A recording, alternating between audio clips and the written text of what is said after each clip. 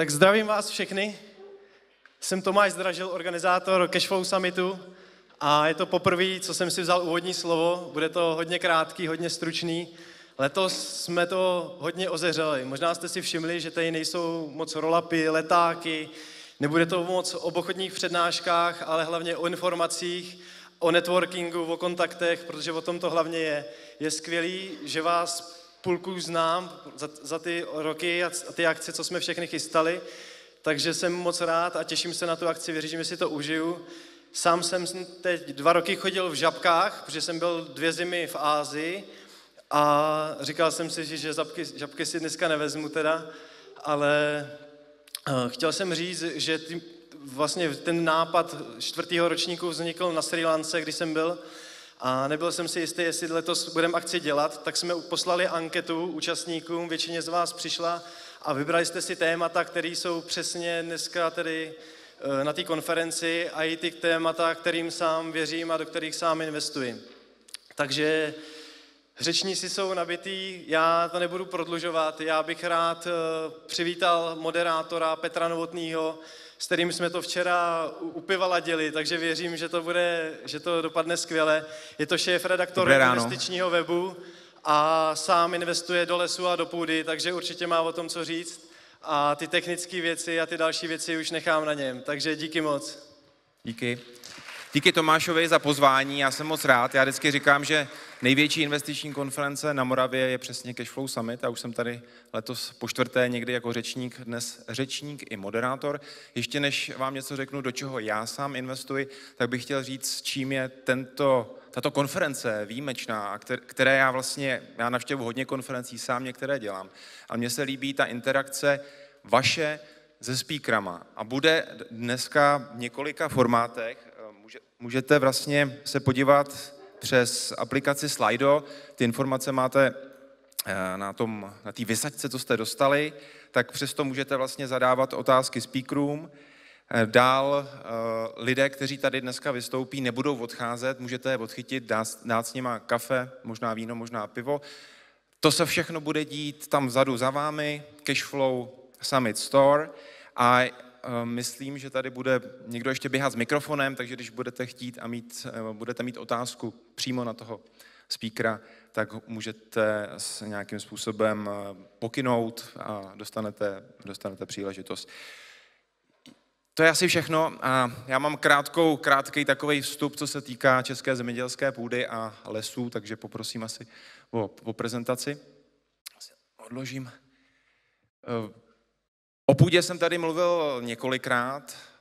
Já půdu mám rád, do půdy investuji, začal jsem investovat také do lesů a chtěl bych spíš ukázat, jak se eh, tato třída aktiv vyvíjí v poslední době, protože hodně lidí z vás, anebo hodně lidí, s kterými dnes mluvím, tak říká, hele, já se bojím té bubliny. Tady v realitách je realitní bublina, všechno splaskne, včetně té půdy. A to je taková základní otázka. A na to bych měl hned v prvním obrázku odpověď. Ještě, ještě prezentér.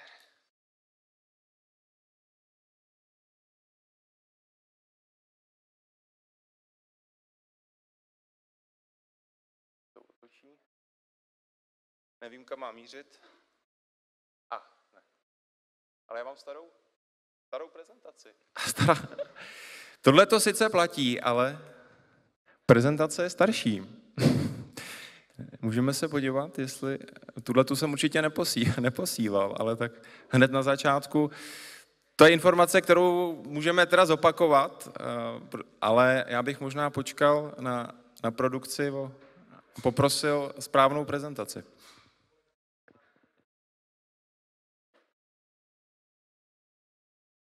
Jinou nemáte. Já bych začal asi možná improvizací, protože k té přednášce se můžeme dostat klidně za chvilku a uděláme takovou změnu tím dalším speakerem. Je vůbec jenom co se týká toho obsahu. Dnes je to rozdělený na dvě základní témata. Dopoledne, řekl bych, takové old school investice, Možná ta půda, lesy, na ty přijde řada, až najdeme tu správnou prezentaci, bude řeč o akcích, pak se podíváme na vzácné kovy a odpoledne, a proto tady asi hodně z vás je, se podíváme na ty nové věci, na kryptoměny, sdílenou ekonomiku a také nakoukneme víc do podnikání.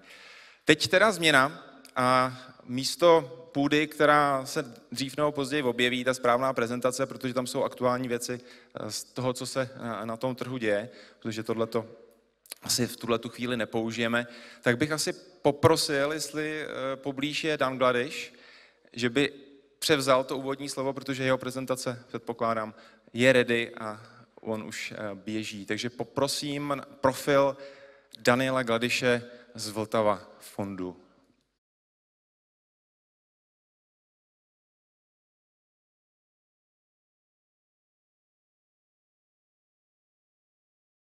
Tak, technicky to nezačíná úplně nejlépe, ale já Dana znám. Dan je burzovní veterán. On se občas zasměje, ale já si ho pamatuju, rok 93, rok 94, kdy v Brně vesele obchodoval akcie Česu, občas jsme spolu něco eh, koupili nebo prodali, ale Dan si prošel takovou velkou investiční kariérou, dnes eh, úspěšný portfolio manažer, ale hodně se věnuje také investiční edukaci, má za sebou řadu úspěšných investičních publikací. Dnes asi bude řeč hlavně o akcích. Je to tak dané. Ale ještě nemám ani prodaná mikrofon, takže... Ale my si pomůžeme. Hlavně jde o obsah a ten tady bude nabitej. Takže Dané, a to je tři čtvrtě hodinka, možná půl hodinka, možná půl hodinka, na, po které přijdou vaše otázky. Daniel Gladiš, díky. Tak dobrý den. Jo, funguje to tak, aspoň něco funguje. Dobře, tak já děkuju. Já jsem si ještě říkal, že si to ještě, než Petr skončí, že si to všechno ještě zopakuju a už to nestihnu, takže budu muset, uh, budu muset i tak. No. Děkuji hlavně pořádatelům, že mě, že mě sem pozvali. Už je to po třetí, co jsme se domluvali, ale to to teda konečně vyšlo. A děkuji taky Petrovi za, za představení. To, že mi označil za veterána, já mu vrátím, protože je taky na tom trhu už skoro tak dlouho jako já ale bohužel člověk eh, roky nezastaví. Pro mě takový zlom přišel asi před dvěma lety, když jsem byl na nějakém eh, závodě v triatlonu a zjistil jsem o toho výsledci, že jsem byl nejstarší účastník, tak od té doby jsem trošku změnil uvažování o světě. Tak já začnu takovou malou historkou, než se pustím do, toho, do té své prezentace. Loni jsem byl na nějaké malé měsíční konferenci a, a byl na ní Howard Marks, což je taková měsíční legenda pro mě jedna z největších autorit, co se týče rizika. A když jsme se tam v takém malém hloučku bavili, tak on říkal, najednou řekl, já vám prozradím, víte, jaké je tajemství úspěchu v investování? Tam se všichni stuhli, protože najednou jsme měli na dosah ten svatý grál, že jo? to je něco, co celý život se snažíme zjistit a taková legenda jako Howard Marks nám to prozradí. Takže jsme všichni byli napjatí a Howard pokračoval, no, Tajemství úspěchu investování je přežít prvních 30 let. To bylo pro nás zklamání, protože tak jsme si to jako nepředstavovali. Já potom pokračoval, že vlastně člověk se prvních 30 let sbírá zkušenosti a snaží se učit a když má štěstí a jako investor to období přežije, tak potom dalších 30 let může postupně začít ty zkušenosti uh, jako zúročovat. Může to zdát na první pohled jako přitažné za vlasy, jako takový ten zemanovský bonmot, ale on to tak možná, možná úplně není. Jo. Já třeba jsem v 25. roku té své profesionální kariéry a pořád se považuji za studenta akciových trhů a vím, že, že, že člověk se má pořád eh, co učit. A to, co vám tady dneska budu, budu říkat, je, berte jako tak, že to není něco, co by vám, co by vám jako říkal, abyste dělali nebo jste čemu věřili. Je to takový jako pohled vlastně do vývoje uvažování člověka, který se těmi věcmi, to znamená investováním do akcí, zabývá 25. Le, 25. Eh, rok. Na investování nejhorší to, že to není přírodní věda a to znamená, že tam neexistují žádné zákony. Jo?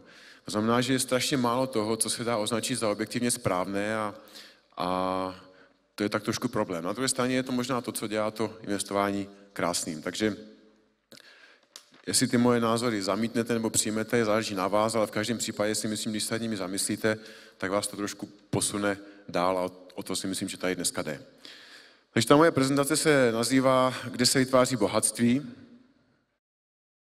a má čtyři takové body. Jo? První se zamyslím nad tím, kde to bohatství v praxi vzniká, potom se zamyslím nad tím, proč investujeme a pak ty dva konce spojíme a dojdeme k nějakému závěru, jak by se investor mohl chovat. Začnu tím, že uvedu dvě sada takových faktů a pak se zamyslíme nad tím, proč to tak je. Tak určitě víte, že, že časopis Forbes pravidelně sestavuje žebříčky nejbohatších eh, lidí světa. A ten aktuální žebříček, nebo nedávný žebříček, vypadá asi takto. A mi napadlo zamyslet se nad tím, z čeho vlastně pramení bohatství těch nejbohatších lidí světa. Tak jsem si eh, vy, vypsal nebo vy, vygoogloval těch 50 nejbohatších a zjistil, zjistil jsem, že z těch 50 nejbohatších lidí světa 48 z nich nabylo bohatství díky vlastnění akcí, respektive podílu v nějaké firmě. A teď nezáleží na tom, jestli ta firma je veřejně obchodovatelná, jako třeba Microsoft v případě Billa Gatese, nebo jestli je privátní, jako třeba Bloomberg, ale podstatné je, že to největší bohatství se nabývá vlastněním akcí v nějaké firmě. A teď otázka je, proč to tak je, jestli je to náhodou, anebo jestli to má nějakou, uh, nějaký důvod. No, či o tom se budeme bavit za chvilku. A nejdříve si ještě uvedeme tu druhou sadu věcí.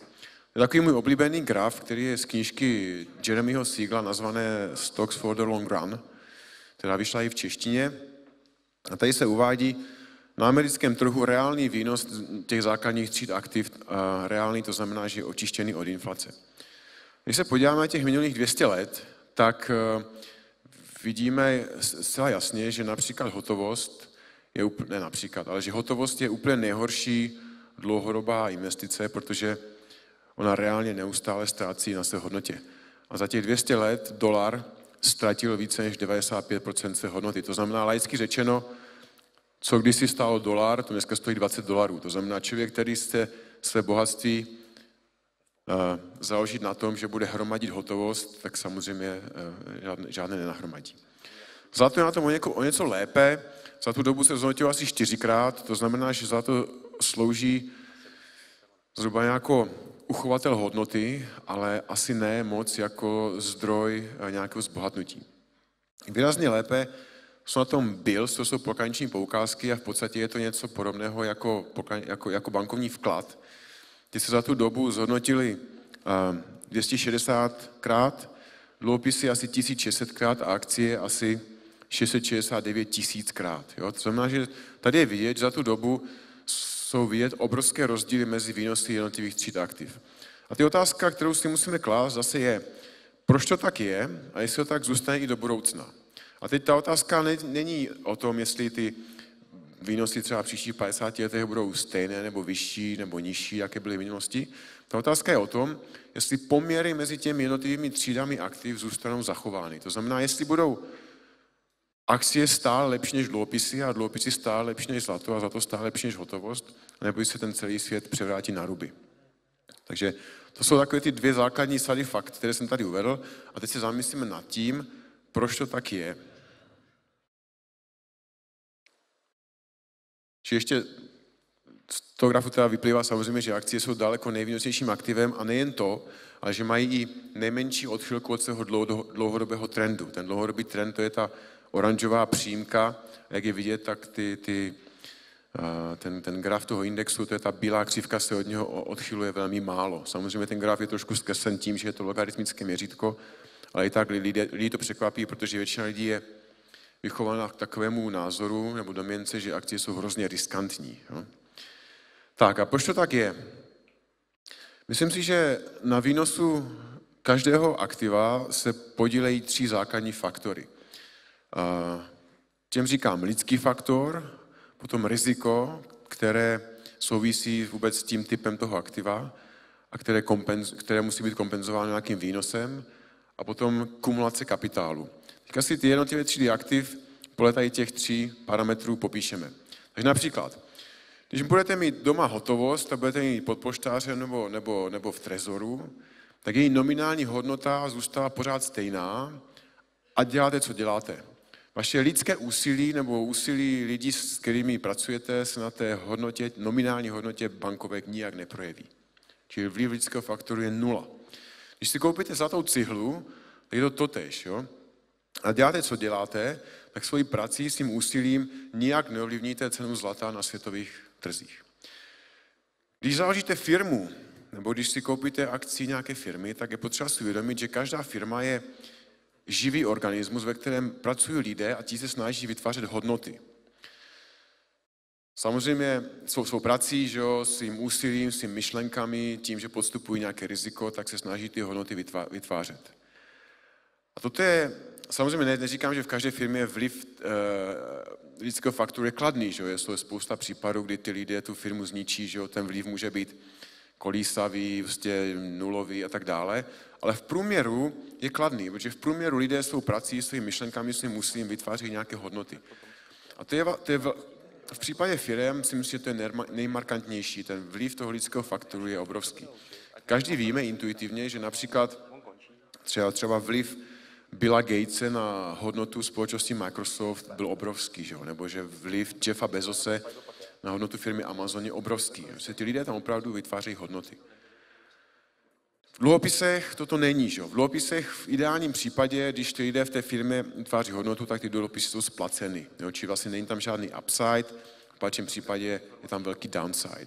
Někde uprostřed mezi tím stojí nemovitosti a půda, kde samozřejmě lidská činnost také vytváří hodnotu, ale je omezená charakterem té nemovitosti. Jo? Když si koupíte třeba tuto budovu, tak tím jejím charakterem, polohou a tak dále jste omezení. Jo? Můžete vytvářet hodnoty, ale nemáte zdaleka takovou volnost, jako když vlastníte nebo pracujete v nějaké firmě. Čiže ten vliv lidského faktoru na vytváření hodnoty je největší právě v akcích. A za akciemi si nepředstavujte jenom veřejně obchodatelné akcie na burze. Akcie je podíl prostě na vlastnictví té firmy a stejně tak to může být vaše soukromá firma, může to být nějaký startup, může to být prostě neveřejně obchodovatelná firma. Protože ta hodnota nesouvisí s tím, že se to vytváří, že to, to obchoduje na burze nebo ne. Ta hodnota vytváří, souvisí s tím, že tam lidé vytváří nějakou hodnotu. Druhý faktor, který na to působí, eh, je riziko, respektive výnos, který musí kompenzovat typ toho rizika, který podstupujete. Takže například, když budete držet doma tu hotovost kapse, tak samozřejmě její nominální hodnota je pořád stejná a to riziko, které by jí to změnilo, je, není žádné. To znamená, že tomu odpovídá taky nulový, nulový nominální výnos. Když eh, naopak investujete peníze do nějaké akcí nějaké firmy, znamená, že ty peníze poskytujete společnosti k tomu, aby s nimi podnikala, tak intuitivně cítíte, že s tím je spojené nějaké podnikatelské riziko a chcete, abyste byli kompenzováni nějakým výnosem. A ten výnos samozřejmě musí být vyšší, než je u hotovosti, to je logické. A on taky musí být vyšší, než je třeba u, u dluhopisu, jo, protože v těch závazcích, že, tam ta, ty, ty závazky vůči akcionářům jsou v té hierarchii níže než závazky vůči uh, věřitelům. No, to znamená, že uh, dluhopisy musí nést nižší výnos než akcie. A to taky intuitivně cítíme, protože jste mladí, že jo, ve škole nebo těsně po škole a vaše ambice se um, vyvíjejí v úvahách typu, až dodělám školu, založím firmu a budu podnikat. Že jo. Skoro nikdy nepotkáte člověka, který řekne, až do studiu založím firmu, nebo ne, až do studiu začnu firmám půjčovat peníze. Že jo. Tohle taky ty biznesy fungují, ale každý intuitivně cítí, že ten, to bohatství se, se vytváří těm, u těch vlastníků, pro ty vlastníky a ne pro ty věřitele. To znamená, že ty akcie musí nést vyšší, vyšší výnos, protože to riziko, které se tím postupuje, je vyšší a musí to být kompenzováno. Někde mezi tím zase stojí nemovitosti a dluhopisy, které taky mají své rizika, a ta rizika jsou relativně menší a proto si myslím, že ten výnos musí být taky menší. To znamená, ten druhý faktor, to riziko a kompenzace toho rizika vyšším výnosem je u těch akcí zase vyšší než u těch jiných tří aktiv. A třetí faktor, který je strašně důležitý, na který se hodně zapomíná, je takzvaná kumulace kapitálu. Základ investování do akcí spočívá v tom, že ty, ty, ty, ty firmy mají nějaký kapitál, s kterým podnikají. Když, když eh, ten kapitál nese nějaký výnos, když na konci roku dosáhnou zisku, tak ten zisk přidají k tomu kapitálu, ten kapitál se zvýší, znamená, že pro příští rok mají více kapitálu k podnikání a pokud výnosy kapitálu zůstávají stejné, tak by měl uměrně eh, s tím růst postupně i zisk. Jo. A tady tato kumulace kapitálu na úrovni firm je strašně důležitá a ona neprobíhá až tak moc na úrovni těch jiných tříd aktiv. Že jo. Ona neprobíhá hotovostí, že ta, ta nenese žádné výnosy sama, neprobíhá u zlata, protože zlato nenese žádné výnosy, žádné dividendy, nemá žádný zisk, že jo. Je, probíhá u, u dluhopisů, u nemovitostí i u půdy, tam to máme, u dluhopisů jsou to kupony, že jo, u půdy jsou prostě výnosy z pronájmu a tak dále. ale ta, ta rychlost té kumulace toho složeného úrokování je mnohem nižší. To znamená, že když se sečte, tak všechny ty tři, všechny ty, ty, ty tři faktory hovoří proto, že ten dlouhodobý výnos, ta, ta rychlá tvorba eh, bohatství musí být nejrychlejší při vlastnění s firem. A docházíme k něčemu, čemu říkám, no tak, eh, čemu říkám vzorec tvorby bohatství. Ale než se k němu dostanu, tak ještě mám tady takovou eh, připravenou studii, kde vám chci demonstrovat, jak se vlastně, jak, ta, jak, to, jak, ten, jak ten kapitál se kumuluje. Tu dokázat ukázat na příkladu BMW, či taková firma, která je vám známá, je relativně jednoduchá na, na pochopení. Tady jsou nějaké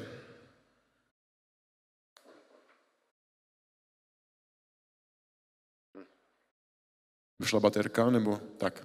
To jsou nějaké základní údaje, které se týkají eh, BMW a posledních, dejme tomu, 12 let, to znamená, to je období, které zahrnuje boom, recesi a zotavení, takže celý hospodářský cyklus. Důležité věci, které si všimněte, to jsou ty tři modrá políčka. Za těch 12 let se zisk na akcí strojnásobil, vlastní mění strojnásobilo a cena akcie taky strojnásobila. Jo? Není náhodou, že ty čísla jsou skoro stejné. Jo? A teďka demonstruju na, na, na tom, na dalších číslech, jak to, ta kumulace kapitálu vlastně probíhá. Na začátku roku 2004 mělo BMW vlastní mění zhruba 24 eur na jednu akci. Když dosáhnou zisku 33 a z toho vyplatí 0,62 na dividendě, tak jim zbude 2,71 nerozděleného zisku, který navýší vlastně kapitál, s kterým ta firma podniká. Znamená na začátku roku dalšího, na začátku roku 2005, má vyšší základní kapitál, vyšší vlastní mění. A pokud výnosy toho vlastního mění zůstávají v čase zhruba stejné, tak to znamená, že teoreticky s tím rostoucím vlastním měním, s tím rostoucím kapitálem, který ta firma podnikání, rostou i její zisky. Lépe je to vidět na grafu, než na těchto číslech. No, tady. Tady vlastně graficky znázorněno, jak se, jak se v BMW vyvíjel za těch posledních 12 let zisk. Ten celý sloupeček znamená celý zisk v tom roce, z tohoto modré je dividenda a to, to, to rezavé je ten kapitál, který v té firmě zůstal, aby byl reinvestován. Samozřejmě, že v životě nic neběží pravidelně a hladce, to znamená, že v období recese před 8 lety ten zisk byl malinký, ale potom zase se, se vrátil zpátky. Když se podíváme, jak se za tu dobu naakumuloval vlastní mění, tak to je takhle. Jo. To znamená, že ta firma má dneska mnohem větší kapitál, než měla před 12 lety. Ten kapitál je řádově trojnásobný. Znamená, že ta firma po, po, po, podniká dneska s třikrát větším kapitálem, než před 12 lety. A pokud výnosy jejího vlastního mění, výnosy toho kapitálu jsou zhruba stejné, tak je logické, že i ten zisk je zhruba trojnásobný, než byl na začátku. A toto složené úrokování, tato kumulace kapitálu je strašně důležitá, strašně důležitým důvodem toho, proč vlastně bychom měli investovat do akcí a proč na, na, na úrovni akcí se to bohatství tváří nejrychleji.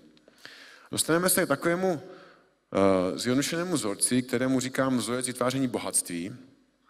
Vypadá takto, že bohatství se rovná lidský faktor plus riziko, to jsou ty dva první faktory, krát kumulace kapitálu. Samozřejmě nesnažte se podle tohoto vzorce vypočítávat, jak, jak budete bohatí za 20 let. Je to, je to zjednodušené schéma, které se snaží ukázat, na čem tvorba toho, toho, toho bohatství závisí. Znamená, že pokud chcete, aby se vám kumulovalo rychle, tak musíte investovat do takových investic, ten lidský faktor, vliv toho lidského faktoru je velký, je to riziko, které postupuje tu investicí, je kumulováno nějakým vysokým výnosem a kde, se, kde dochází k dlouhodobé a výrazné kumulaci skládání výnosu toho kapitálu. Ale se na to podívám z jakékoliv strany chci, ze strany těch statistických dát, ze strany vlastní zkušeností, ze strany prostě jak, jakýkoliv, tak pořád mi vychází, že ty akcie na tom jsou dlouhodobě nejlépe. Jo? Samozřejmě toto je zjednodušený vzoreček, já mám rád jednoduché věci. Takovým ideálem jednoduchosti pro mě je tady tento graf, nevím, jestli to znáte, to je, to je Jágrův, ty Jágrovo znázornění předzápasové přípravy v kabině. Jo? Žádné zbytečné řeči, prostě jednoduché znázornění. Teď se zamysleme chvilku nad tím, to byla, ukončil jsem jednu kapitolku, teď začnu druhou a pak to spojíme. Zamysleme se chvilku nad tím, uh, proč vlastně investujeme. Náš velký učitel, uh, Warren Buffett, v jedné ze svých výročních zpráv definuje investici asi takhle. Že investicí převádíme svoji současnou kupní sílu někomu jinému s rozumným očekáváním toho, že v budoucnosti budeme mít té kupní síly více. Jo?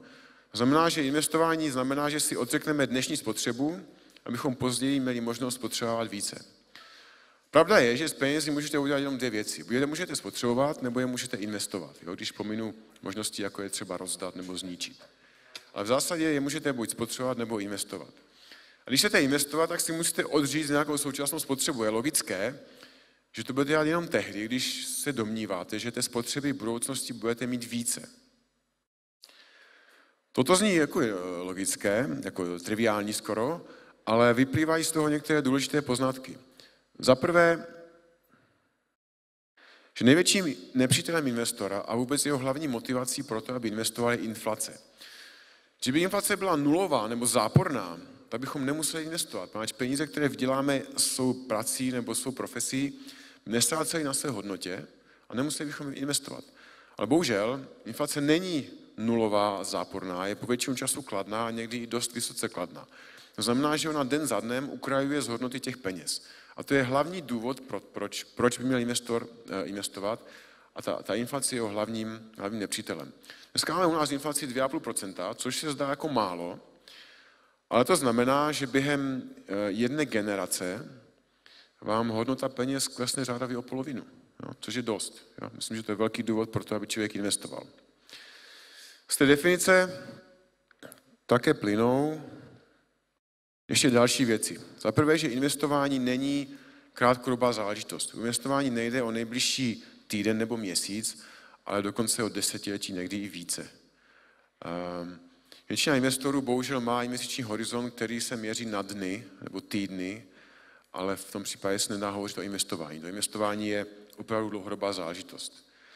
A druhá věc, která z té definice plyne, je, že hlavním rizikem, kterému investor čelí, je, že se mu nepodaří toho cíle dosáhnout. Jo?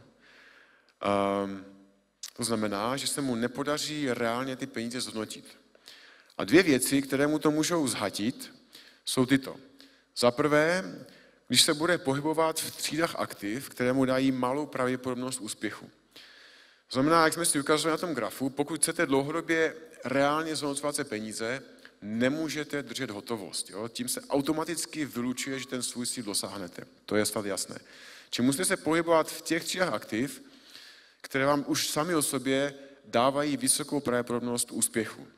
A které to jsou, to už, to už tušíte. Že? A za druhé, čemu se potřeba za každou cenu vyhnout, je něco, čemu se říká trvalá ztráta kapitálu, protože i v rámci těch, těch, těch tříd aktiv musíte koupit vždycky něco, že nedá se koupit všechny akcie, nebo všechny dluhopisy, nebo všechny nemovitosti. Musíte vždycky koupit nějakou nebo nějaký výsek toho trhu a je potřeba se vy, vy, vyvárovat něčemu, čemu se říká trvalá ztráta kapitálu. K tomu může dojít v jakékoliv třídy aktiv. Samozřejmě čím ta třída je riskantnější, tak tím je to pravděpodobnější. Třeba na české, na české půdě trhovou kapitálu zažili akcionáři OKD, že, nebo NVR, jejíž, jejíž kde vlivnického faktoru byl negativní při řízení té firmy, hodně negativní, a investoři přišli o všechno bez možnosti získat ty peníze zpátky. Či toto je potřeba něco, čemu se potřeba se vyhnout. Tady toto, pojetí, toto pojetí rizika moje je menšinové. Jo?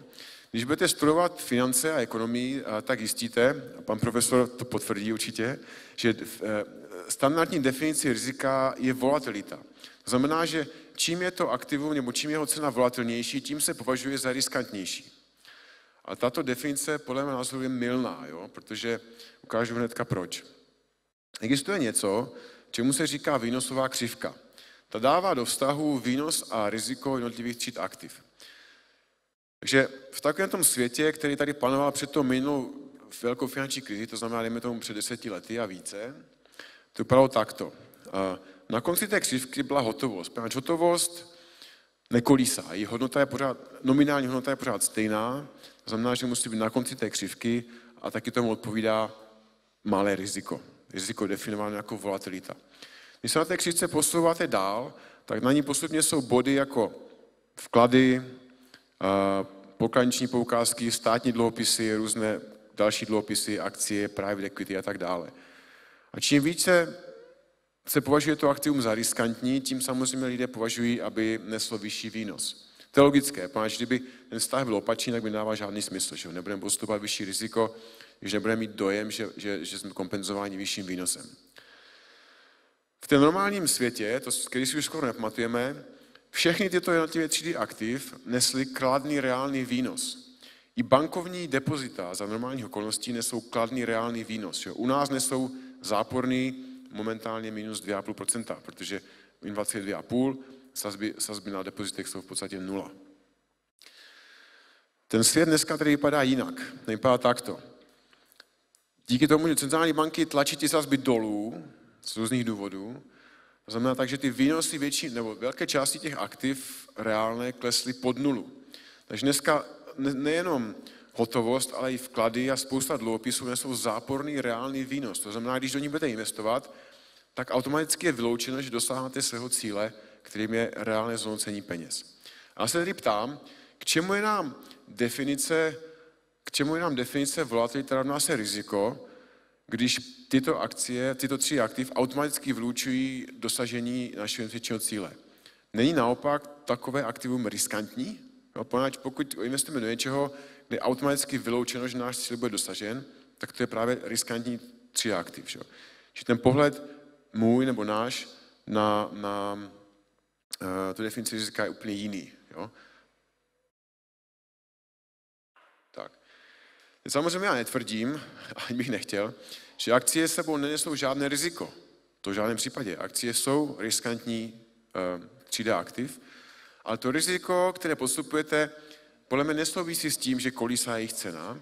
To riziko souvisí s tím aktuálním nebo konkrétním podnikáním těch jednotlivých společností. Řada z vás možná vlastní nějakou firmu a na to, jaké rizika postupujete v tom podnikání, se díváte jinak. Že?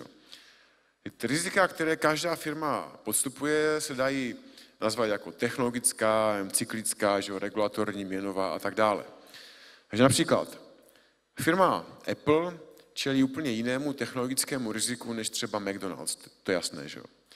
Firma uh, Nestlé má úplně jiné cyklické riziko než třeba nějaký těžař ropy. Uh, firma, já nevím, uh, nějaká farmaceutická čelí jinému regulatornímu riziku než třeba banka. To znamená, že každá společnost je charakterizována charakteristická tím, jaké rizika souvisí s tím jejím podnikáním. A já tvrdím, že se dají najít společnosti, není jich moc, ale jsou, které mají všechny tato rizika definičně minimální. Jo? Neříkám nulová, jo? něco jako nulové riziko neexistuje ve světě, ale mají jako minimální dosažitelná. A takovým akcím s trochou nadsázky nebo společnostem říkám bezrizikové akcie. Jo?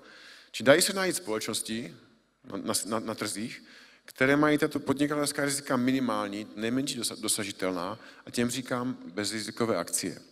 A z těch, jako začátek toho našeho investování, my můžeme z těchto akcí vyskládat portfolio. Jo? To portfolio potom analogicky se bude jmenovat bezrizikové portfolio, jako v vozovkách. A i takové portfolio akciové bude... Počkej, zpátky, zpátky. Tady. I takové, riziko, i takové akcie portfolio bude samo sebe dostatečně výnosné na tom, abychom dlouhodobě dosahovali to našeho cíle, což znamená reálně zhodnocovat naše peníze.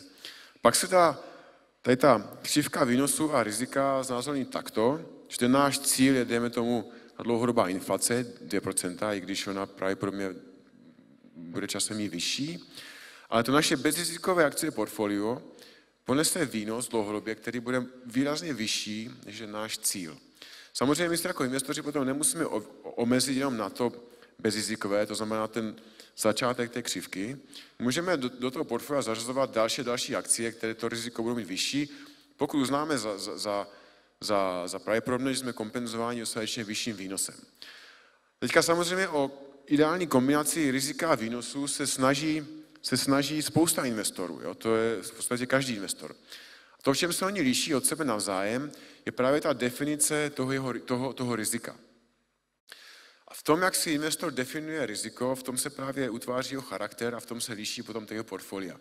Že investor, který si definuje riziko jako, jako uh, volatilitu, skončí s úplně jiným rizikem, než uh, investor, který si definuje riziko třeba jako nebezpečí, že neporazí inflaci. A taky to jejich portfolio bude vypadat úplně jinak a taky ten výsledek bude vypadat úplně jinak.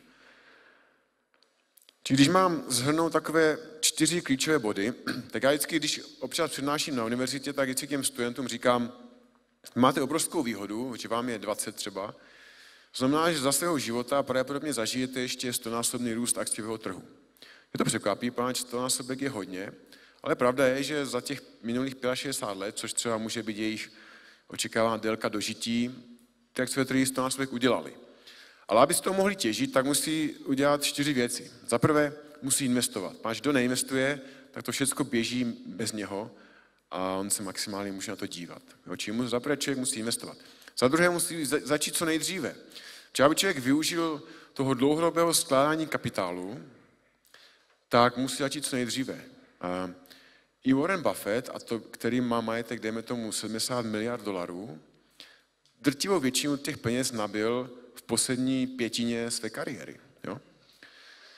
Když, ti, když ti studenti budou čekat 10 let, tak každý 10 let jim sníží ten výnos o polovinu. To znamená, že když začnou za 10 let, tak už to nebude 100 násobek, ale 50 násobek. Když začnou o další 10 let později, tak už se bavíme třeba 25 násobku. To znamená začít co nejdřív. Za třetí třeba vydržet, jo? protože vždycky přijdou okamžiky, které mohou trvat několik let, když se vám bude zdát, že to nefunguje. Jo? A v takové situaci spousta investorů to vzdá a pak do toho cíle nedojde. A za čtvrté, a to je to nejdůležitější, pokud chcete mít jakoukoliv naději na ten stonásobek, tak musíte kupovat akcie. S jinými třídami aktiv je to vyloučeno. A teď, to nemus, teď samozřejmě pod těmi akciemi si nemusíte představovat uh, ty veřejně obchvatelné trhy. Jo, to může být váš vlastní biznis, může to být kombinace obojího, může to být různé menší, větší startupy a tak dále, ale ta kumulace toho bohatství probíhá pro ty akcionáře díky tomu, že vlastní podíly ve firmách. Ty ostatní tři aktiv jsou na tom, jsou na tom a budou na tom vždycky hodně hůř. Tak, Petře, jak jsme na tom s časem? Pět minut, deset minut, určitě vaše otázky. Výborně. Nevím, jestli jste stihli přes to slajdo už něco napsat Danovi. Nějaký rychlý postřeh na jeho zajímavé grafy a hlavně to je, tohle je škola investování tady. Ze vším se dá tak prosím. souhlasit.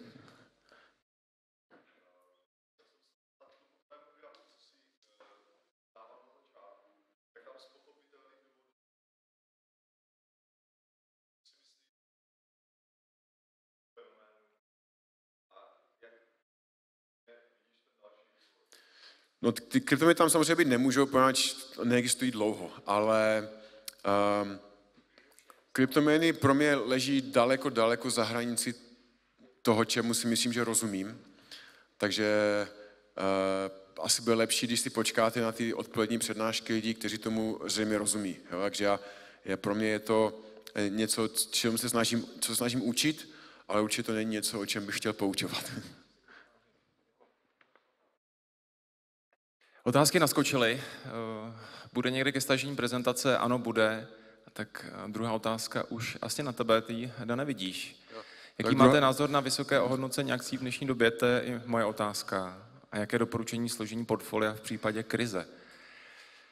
No, no um, akcie všeobecně jsou drahé. Uh, um, americké jsou nejdražší, um, Evropské jsou na tom o trochu lépe, japonské jsou, bych řekl, zcela v pořádku. Problém je v tom, že jiné tři aktiv jsou ještě dražší. Že? Nejmarkantnější to je u dluhopisů, které jsou absurdně předražené. A problém je v tom je, že člověk nemá moc možností, eh, jak tomu světu utéct. Jo? Ale nemyslím si, že současně, že na, na akciových trzích je, je bublina, protože člověk, aby mohl říct, jestli ta bublina je nebo ne, tak si něco musí definovat, co to vlastně bublina je. A my si definujeme bublinu jako situaci, kdy ten, to ocenění těch trhů je více než dvě standardní odchylky od svého průměru, což ani na tom americkém trhu ještě není, ale není od toho daleko. Či já si myslím, že trhy jsou drahé, ale současně je tam spousta akcí, paradoxně, které jsou velmi atraktivní. Jo? Takže člověk, který hledá, tak, tak, tak je najde. Lidé, kteří mají pořád v paměti tady ten velký krach z roku 2008, tak, mají, tak jsou jakoby uštnutí hadem, mají takový ten snake bite efekt, že se prostě bojí těch trhů, protože si myslí, že příští krize bude stejná nebo mnohem horší. Jo? Já nevím, jo, to nevím, ale pravděpodobnější je to, že ta příští, ta příští velká tržní korekce bude spíš na pozadí běžnější recese než té velké, která byla před osmi lety. A k takovým korekcím prostě dochází um, vždycky a vždycky docházet bude. Nicméně to ocenění těch akcí vybízí rozhodně jako patrností. Jo. Není to doba, kdyby člověk měl být moc chamtivý, spíš teďka je lepší se držet zpátky. Ale myslím si, že pořád těch atraktivních investic je tam uh, tam je něco od Poměrně tvého know-how. Rostě se ptá, jak vybíráš firmu, do které investuješ. Uh, velmi jednoduše. Vždycky si klademe čtyři otázky. První otázka je, jestli rozumíme tomu, co, co ta firma dělá. Jo, to se zná, jako, zdá jako hloupost, ale když by měl jmenovat případ, kdy lidé nejvíce přicházejí o peníze, tak je to tehdy, když se pouští do věcí, kterým nerozumí. To znamená, že musíme rozumět tomu, co ta firma dělá, a to samo sobě ten trh zúží tak minimálně o dvě třetiny, jo, možná ještě více. Potom musíme nabít přesvědčení, že ta firma má něco, čemu se říká trvale udržitelná konkurenční výhoda. Protože když eh, uvažujeme v větším horizontu, který je pět a více let, tak chceme, aby ta firma tady za deset let nejenom ještě byla, ale taky, aby prosperovala. Třetí otázka, kterou si klademe, je, jestli je řízená ve prospěch akcionářů, což je taky důležitá věc pro dlouhodobé investory, protože každý management firmy má dva úkoly. Za prvé tu firmu řídit a dělat ten biznis, to každý ví, ale pak je tam ještě dost důležitý druhý úkol a to je alokovat ten vydělaný kapitál. Když to děláš špatně, neefektivně, tak ta kumulace skládání toho kapitálu prostě neprobíhá, protože ten kapitál se znehodnocuje nejčastěji předraženými akvizicemi, vlastně megalonickými plány, chybami managementu a tak dále. A teprve, když máme na tyto tři otázky kladnou odpověď, tak přichází čtvrtá, a to je ta, jestli je ta akcie atraktivně oceněna. A teprve pokud je, tak eh, uvažujeme o tom, že bychom ji zařadili do portfolia. Takže máme takový investiční proces. Ten je tak navržený proto, aby, protože investování je otázka pravděpodobností a každý z těchto kroků by měl tu pravděpodobnost výsledku naklonit trošku více jako v náš prospěch. Teď jsou tam otázky, které se týkají dneska fenomén, to, to pasivní investování přes indexové fondy versus aktivní, kterému se věnuješ například ty. Uh, Takže názor na indexové fondy, vůbec koupit si index a vykašlat se na nějaký stock picking? Můj názor je velmi eh, jasný. Včera jsem, my každý, já každý, každého čtvrt roku píšu text, který se jmenuje Dopis akcionářům, který je určen našim investorům a dáváme ho i na web. A včera jsem dopsal ten nový a jmenuje se Indexy a indexové investování. Bude publikován začátkem července, má 10 stránek, já nevím, jak bych to celé tady zhrnul do, do jednoho odstavce, takže jestli vydržíte 14 dní, tak buď na Facebooku nebo na, na našem webu si ho můžete přečíst. Indexy a indexové investování. Chvilku tam problikla otázka na české akce, já nevím, jestli je dané sleduješ, byl tam likérka Stock Spirit a Moneta Moneybank. Sleduješ tyto akcie? Tam byl názor, co si o nich myslí? Sleduju české, uh, na Stock Spirit žádný názor nemám. Moneta je slušná banka, akorát, že podle mého názoru drahá, jo, protože bude podle mého názoru čelit vel, velkému tlaku na marže, a myslím, že to ocenění je vysoké, i když na tom českém trhu, jelikož těch akcí tady je málo a těch investorů, kteří jsou nuceni koupit české akcie, je poměrně dost, eh, to neznamená, že ta akcie nepůjde nahoru. A navíc je to taky banka, která vlastně jedna, jako jediná z větších českých bank nemá momentálně velkého zahraničního eh, akcionáře, což taky může časem eh, něco znamenat ale momentálně bych, bych ji teda nekupoval. Ale je to jedna z těch lepších na pražské burze, myslím. To možná teď vidíš co s tím Buffettem, jestli si nekoupit teda jeho pojišťovnu a držet to. O dlouhodobém investování do Berkshire Hathaway. Tak na, naší, naší, naší největší pozice fondu je právě Berkshire Hathaway. Uh, máme ty akcie A, že jo? jedna stojí 255 tisíc dolarů, takže to je taková prestižní záležitost mít takové jako nominálně vysoké oceněné akcie. To samozřejmě neznamená, že ona je drahá, jo? to jsou dvě rozdílné věci. Pro běžného investora samozřejmě je schudnější kupovat ty akcie B, které stojí 1500 krát míň, ale je to vlastně to tež. Jo? Akorát, že kupujete si 1500 krát menší podíl na té firmě každou akcí. Podle mého názoru to je jedna z mála velkých akcí na americkém trhu, která je výrazně podhodnocená. A to i přesto, že riziko, které souvisí s jejich biznisem, je hrozně nízké. Jo? A proč tak je, nikdo neví a jediné, co s tím můžeme dělat, je snažit se to maximálně využít. Zajímavá otázka, která souvisí s tou tvojí prezentací. Ty jsi mluvil o bohatství a jak, jak ho dobře předat svým následovníkům, svým dětem, aby to prostě neprošumovali, no nespadlo jim to jen do klína. Nějaká tvoje rada životní spíš. Já mám děti, já mám děti čtyři, čtyři různého věku, takže mám s tím nějaké zkušenosti, když samozřejmě ten nejstarší dcera má 22, takže, takže ještě všichni studují. No, snažím se vést už od velkého, od 6 let takovému jako pravidelnému investování a oni to k mému překvapení jako absolvují a už to jako se naučili. Uvidíme, jestli v tom budou pokračovat, až se jako samostatní začnou sami vydělávat. No a já si myslím, že právě jedna z hlavních úkolů rodičů je právě vést dětí k finanční gramotnosti, jo, protože ve škole se to nevyučuje, v literatuře se to nastudovat dá, ale, ale myslím si, že rodiče by měli dětem dát jako první základní eh, eh, jako vědomosti, protože eh, kdo jiný že, by jim je měl dát. No. Zajímavá otázka od Michala, taková exkurze do psychologie investování.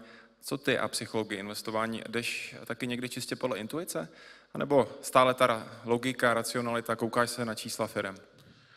Já se snažím, já se snažím z toho, z toho uvažování emoce maximálně vyloučit, jo? snažím se být maximálně racionální, samozřejmě žádný člověk není uh, dokonalý robot bez emocí, že jo? A, takže ty se to vždycky projevují. Samozřejmě, když člověk nějakou společnosti oblíbí, tak potom má tendenci se do ní zamilovat, že jo? a potom to zkresluje jeho, jeho úsudek.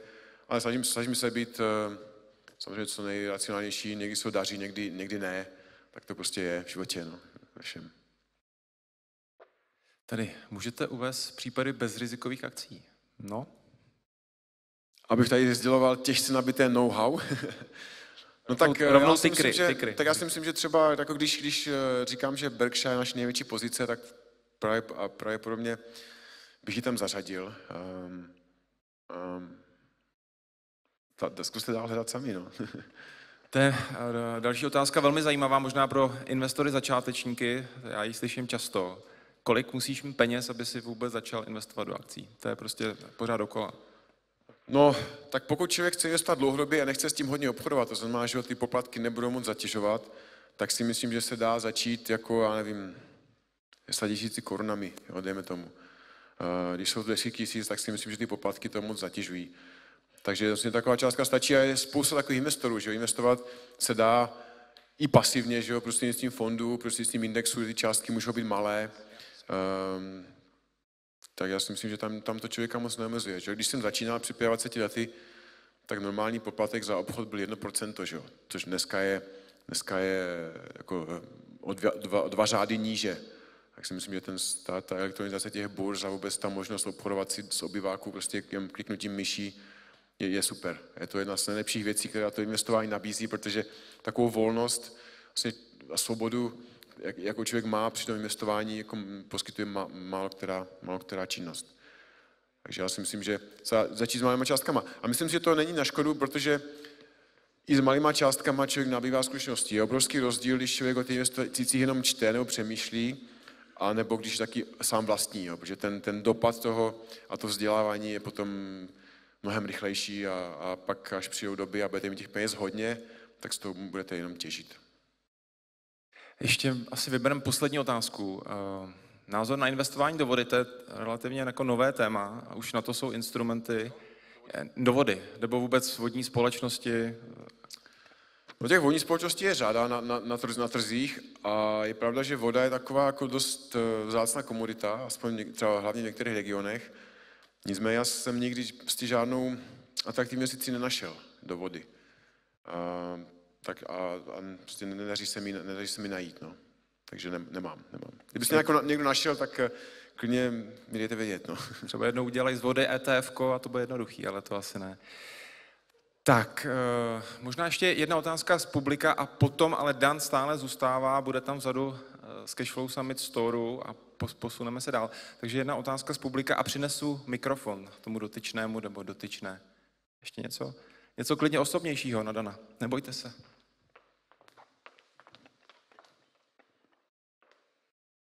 Dobrý den, já jsem se chtěl zeptat, mm, teďka jak vlastně po ak- aktuálním vyjádření centrální banky Fedu, jak vnímáte současný akciový trh a pokles teďka vlastně po tom květnu, teďka v to, na to období toho léta.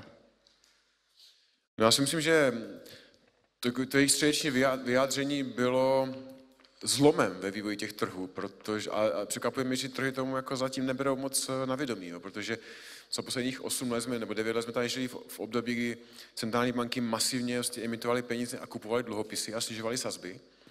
A teď ten Fed nejenom, že ty sazby postupně zvyšuje, ale dokonce se odhodlal a už to i plánuje na podzim začít prodávat dluhopisy z toho svého portfolia.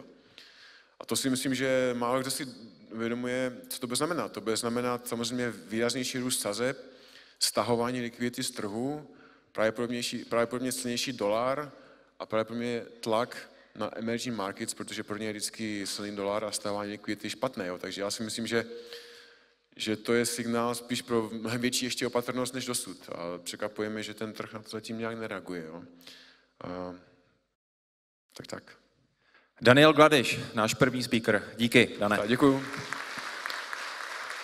Jak jsem řekl, Dan zůstává a můžete se ho zeptat, těch otázek tam byla celá řada, já myslím, že se k ním dostane v průběhu dne. A teď já se teda na chvilku vrátím zpátky do té půdy.